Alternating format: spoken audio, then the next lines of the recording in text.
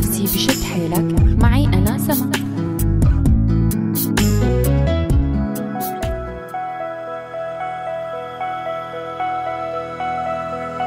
مرحبا. بوقتنا هلأ وبوجود الأنظمة الحالية كتير تغير الشغلات بمفاهيم الانتخابات. وصرنا نشوف الانتخابات الشكلية أو شراء الأصوات أو ترشيح الأشخاص الغير مؤهلين للمناصب المسؤولة.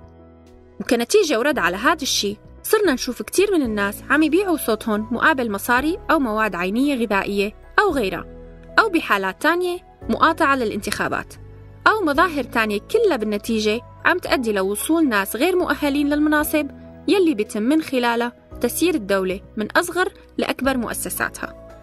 كتير بنسمع عبارة إنه هلأ صوتي هو اللي حيغير أو النتيجة محسومة فيه وبلاي أو مين ما فاز ما رح يجينا شي.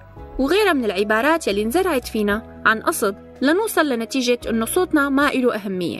وبالتالي تروح أصواتنا للأشخاص يلي هن بدهن ياهن وهيك فعلا بتكون النتيجة محسومة. بس بإرادتنا مو غصب عنا. يمكن هلأ حدا يقول إنه نحن ما عنا انتخابات نزيهة. طيب ليش ما نحاول نحن نخليها انتخابات نزيهة؟ ونبلش من حالنا.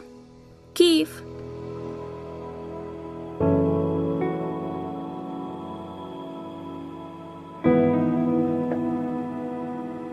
بإنه نعطي صوتنا للشخص يلي بيستاهله. بعد ما نطلع على سيرته الذاتية ونتأكد من نظافة سجله ومن أي سلوكيات ممكن تضر بالمؤسسة يلي رح يكون فيها وبالتالي بتضر البلد. بعدين نطلع على بيانه الانتخابي وشو البنود يلي طارحها والأهداف يلي حاططها فيه. ونتذكرها منيح مشان إذا ما نفذها بعدين يكون موضع مساءلة ومحاسبة. وطبعا هذا حقنا كمواطنين إن نحاسب المسؤول على تقصيره. يمكن هذا الحكي مو هلأ أو مو بكل المناطق السورية ممكن يصير. بس لا تنسوا إنه نحن كسوريين رح تجينا مرحلة نكون فيها نحن الشعب أصحاب القرار. فلازم نكون جاهزين لهالمرحلة من خلال معرفة حقوقنا وواجباتنا يلي واحد منا الانتخابات. في ناس بتفضل إنها تقاطع الانتخابات وقت ما بتكون راضية عن المرشحين. ما رح نناقش إذا كان هذا الشي صح أو غلط لأنه الموضوع بالحقيقة جدلي. بس تذكروا إنه للأسف بدولنا ما بتتاخد نسبة المقاطعين بعين الاعتبار. من كل هاي الشغلات يلي حكيناها ذكروا إنه صوتنا هو مسؤولية تجاه بلدنا. ونحن قادرين نوصل فيه الشخص المناسب للمكان المناسب. مشان هيك لازم نشد حيلنا ونكون واعيين لأهمية الموضوع.